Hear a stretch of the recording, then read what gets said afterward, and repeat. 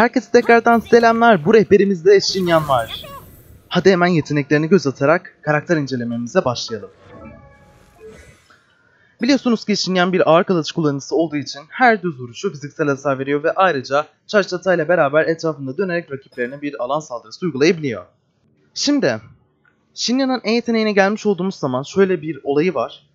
Enstrümanınızla önünüzdeki rakiplere bir alan saldırısı yapıyorsunuz, ateş hasarı veriyorsunuz ve defansınıza bağlı olarak bir hasarı absorbe eden kalkan kazanıyorsunuz. Öncelikle şuna değineyim. Vurmuş olduğunuz rakip sayısına göre bu kalkanın 3 seviyesi var. Hemen bunları değinelim. Eğer hiç rakibe vuramazsınız veya sadece bir rakibe vurabilirseniz birinci seviye kalkan oluşuyor. Eğer ki iki rakibe vurabilirseniz ikinci seviye bir kalkan oluşuyor. 3 veya 3'ten fazla rakibe vurabilirseniz ayrıca ek bir özelliğiniz kazanıyor kalkanınız. Etrafınızdaki rakiplere yani kalkan mevcut olduğu sürece etrafınızdaki rakiplere sürekli olarak ateş hasarı vermeye başlıyor. Ayrıca kalkanın şöyle ekstra özellikleri var. Şin'in üzerinde kısa süreliğine bir pyro etkisi oluşur. Yani bu demek oluyor ki herhangi bir su hasarı aldığınızda sizin üzerinizde vaporize etkisi oluşturabilir. Dikkatli bir şekilde kullanmanızda fayda var. Ve aynı zamanda ateş hasarını %250 daha iyi bir şekilde absorbe edebiliyor. Şimdi bunları değindik. En önemlisi demiş olduğum üzere 3 hedefe veya daha fazlasına vurabilmek. Bu sayede etrafındaki rakiplere ardışık olarak ateş hasarı verebileceği için sanki Shining'li ulti açmışsınız gibi tabii ki daha da yakın birimler için geçerli oluyor bu hasar. Çok büyük bir efektifliğe sahip oluyor. Özellikle su karakterleri ile beraber sürekli Vaporize uygulayabileceğiniz için veya Melt özelliğini uygulayabileceğiniz için aşırı aşırı güçlü bir etki bu. Gerçekten kullanmanız gerekiyor. Ultisine gelelim. Shinyan'ımız olduğu yerde sıçrıyor. Çok yüksek sıçramıyor tabii ki. Küçük bir sıçrama yapıyor. Enstrümanı ile beraber yakınındakilere fiziksel bir hasar veriyor. Ardından geniş bir alanda ise ateş hasarı vermeye başlıyor bir süreliğine. Bununla beraber iki hasarı birden aynı anda çıkardığı için gerçekten güzel bir etkisi var ultisinin. 2 saniye boyunca sürüyor bu ateş etkisi. Bunu da söylemiş olalım. Bu arada kalkanın süresi de kaç saniyeymiş onu da gösterelim. 12 saniye sürüyor kalkan. Bekleme süresi ise 18 saniye. Ve damage overtime dediği şey ateş hasarınız oluyor. %33 hasar veriyor. Ve görmüş olduğunuz üzere kalkanın seviyesi arttıkça buradaki absorbe ettiği hasar da artıyor. İlk yükseltme pasifine gelelim. Artık E yeteneğinizle vuracağınız rakiplerin sayısı az olsa da leveliniz fazla oluyor. Hemen şöyle değinelim. Artık bir rakibe vurduğunuz zaman ikinci seviye bir kalkan edebiliyorken üçüncü seviye kalkan elde etmeniz için iki veya daha fazla rakibe vurmanız yeterli oluyor. Çok iyi bir geliştirme bu. Zaten genelde iki rakibe vuruş yapabileceğiz bu durumlarda. Sürekli olarak alev kalkanını etkinleştirebileceğiz demek oluyor bu da. İkinci yükseltme özelliğine gelmiş olduğumuz zaman ki bu aşırı aşırı aşırı güçlü bir özellik. Sebebi ne? Kalkan aktif olduğu müddetçe mevcut karakterinize %15 fiziksel hasar bonus sağlıyor. Bu özellikle fiziksel hasar oynayan karakterler için aşırı aşırı iyi. Örneğin Shinyan kendisi üzerinde de bu kalkanı kullanabiliyor. Aşırı güçlü. Razer fiziksel hasar oynayan bir karakter. Kesinlikle muazzam gider.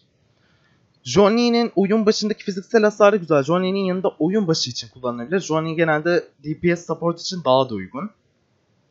Onun hakkında da yakında bir video çekeceğim zaten. Kiking'in oyun başındaki fiziksel hasarı aşırı muazzam, kesinlikle mükemmel gider. Hani bu tarz karakterlerin yanında kullanarak çok iyi bir avantaj elde edebilirsiniz. Destek olarak da kullanılabiliyor yani. Shinyan'e main DPS olarak kullanılabiliyor. Hem de support DPS olarak da kullanılabiliyor. Şimdi hepsine değineceğiz zaten. Ve son pasif özelliğine gelmiş olduğumuz zaman bir yemeği perfect yapmış olduğunuz zaman defansif bir yemek ise o %12 ihtimalle 2 kat üretebiliyor. Hemen silahlarına geçelim. Biliyorsunuz ki Shinyan bir DPS odaklı karakter olduğu için en azından takımda ik ikinci DPS görevini de üstlenebildiği için kesinlikle silahlarda yüzdelik atak çok önemli. Bu nedenden ötürü vazgeçilmez silahınız mutlaka prototip Aminos olsun. Bu kılıç sayesinde çok iyi bir iş yapabilir. Eğer ki bu yoksa daha oyunun başlarındaysanız Debate Club'da yine sizin için güzel bir iş yapacaktır. Onun dışında da ekranda görmüş olduğunuz silahları da takarak kullanabilirsiniz. Shinyan gerçekten fiziksel hasar konusunda muazzam bir hasar çıkarıyor.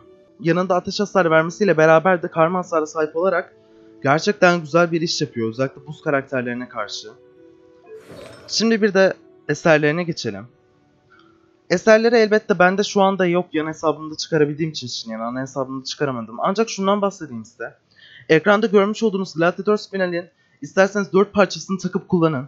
Ancak bu Gladiators finalin 4 parçasını da takmış olduğunuz zaman şunu bilin ki charged atak oynamamanız gerekiyor. Sadece normal atak yapmanız gerekiyor.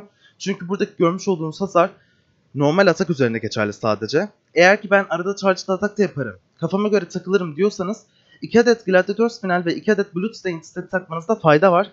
Bu sayede yine güzel bir hasar bonusu kazanabilirsiniz. Charged atağı esirgemeden kullanabilirsiniz. Şimdi bir de kum saatinde kupada ve taşta gereken özellikleri değinelim. Kum saatinde mutlaka yüzdelik atak olmalı. Bu sayede DPS'lerini yükseltebiliyor. Kupada ister fiziksel hasar kasın, ister atak kasın. Hani bu size kalmış. Eğer ki support DPS olarak oynuyorsanız benim önerim buraya yüzdelik olarak atak takmanız. Bu sayede ateş hasarınızın da bir anlamı olur. Başka bir karaktere geçmiş olduğunuz zaman. Çünkü genelde artık karma hasara yönelmiş olacaksınız support oynarken.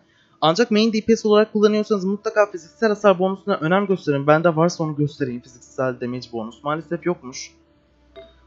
Taca gelmiş olduğumuz zaman kritik damage'e özen göstermenizde fayda var. Çünkü bir DPS olarak oynuyoruz karakteri.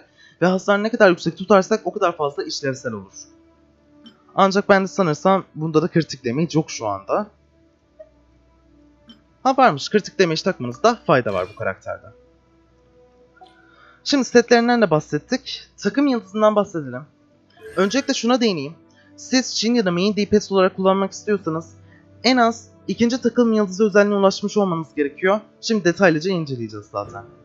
Birinci takım yıldızı özelliğine gelmiş olduğumuz zaman Shinyan kritik bir vuruş gerçekleştirmiş olduğu zaman normal ve charged atağındaki saldırı hızını 5 saniye boyunca %12 artırır. Ve bu özellik 5 saniyede bir tekrarlanabileceği için biter bitmez tekrardan aktive edebilirsiniz.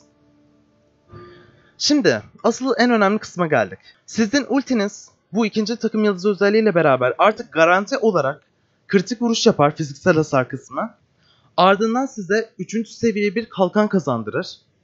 Bu sayede hem doğrudan fiziksel hasar bonusu kalkanı kazanmış oluyorsunuz. Hem de doğrudan saldırı hızınızı artırmış oluyorsunuz. Bu sayede birçok buff'u aynı anda elde edebileceğiniz için çok büyük bir hasar bonusuna sahip oluyorsunuz tek bir seferde. Üçüncü özelliğine gelmiş olduğumuz zaman E yeteneğinizin seviyesi 3 artar. Dördüncü takım yıldızı özelliğinize gelmiş olduğumuz zaman E yeteneğinizle vurmuş olduğunuz rakiplerin fiziksel direnci %15 azalır 12 saniye boyunca. Yine bu da aşırı işlevsel bu sayede rakiplerinizi çok rahat bir şekilde eritebilirsiniz. Beşinci takım yıldızı özelliğinize gelmiş olduğumuz zaman ultimizin seviyesini 3 artırıyor. Altıncı takım yıldızı özelliğinize gelmiş olduğumuz zaman ki burada şuna da değineyim.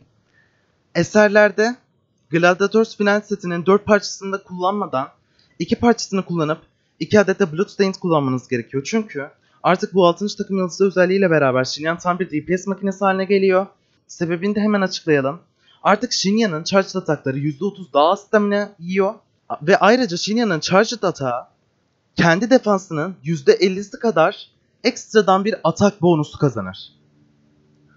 Yani Shinyan rakiplerini ezip geçiyor bu sayede charged ataklarıyla. Belirli bir alan gördüğünüz orada rakipler mi var? Anında süpürür ezer geçer. O derece güçlü hale geliyor. Bu nedenden ötürü tekrardan bir üstünden geçelim. 6. takım yıldız özelliğiniz açıksa 2 adet Bloodstained, 2 adet Gladiators final.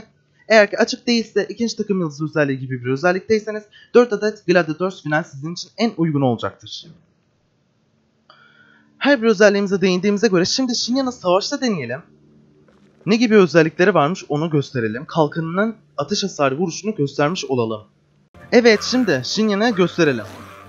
E yeteneğiyle iki rakibimi vurdum. Bakın artık dibimdekileri bir ateş hasarı veriyor bir zamanla. Kalkanım patlayıp duruyor görmüş olduğunuz üzere. Çünkü ilk defa yükselttiğim için iki rakibi vurmam son seviye kalkan için yeterli oluyordu. Bunu gösterdik. Bir de savaşta kendisine birazcık vurarak gösterelim. Ki fiziksel hasar gerçekten güzel. Bir de pingim olması daha iyi göstereceğim. Hasarlar birazcık geçişliyor. Ultisini gösterelim istiyorum. Şöyle birazcık şunun yanına geçelim. Dönerek gelme normal gel. O zaman ben ulti basarım. Bakın fiziksel hasar verdim ve etrafımdakileri yaktım. Görmüş olduğunuz üzere. Shinyan gerçekten karma bir hasara sahip olduğu için aşırı avantaj sağlıyor. Özellikle dediğim gibi buz karakterlerine karşı. Son olarak da E tuşuna bastık bir de karakter değiştirdik. Görmüş olduğunuz üzere Clean'in üstünde kalkan durmayı devam ediyor ve hasarı engelliyor. O zaman videomuzu burada noktalayabiliriz. Hepiniz izlediğiniz için teşekkür ederim. Lütfen beğenmeyi ve abone olmayı unutmayın. Sıradaki videolarda görüşmek üzere. Sağlıcakla kalın.